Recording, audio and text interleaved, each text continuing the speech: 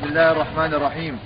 قاتلوهم يعذبهم الله بأيديكم, بأيديكم ويشفي صدور قوم مؤمنين نحن قيادة لواء درع الجبل وقيادة لواء سيام الحق التابع لدروع الثورة. نعلن بحمد الله وفضله عن تحرير آخر حاجز في معركة النعمان حاجز المطالع وحاجز الدلة. بعد معارك طاحنة استمرت لثلاثة أيام وتم خلالها تحرير حاجز الدلة بعملية لدروع الجبل.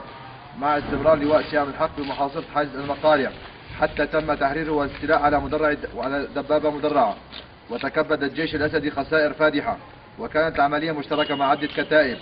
ونعاهد أهلنا على أن نقاتل في أي مكان حتى تحرير سوريا من رجس الأسد. تكبير! الله أكبر!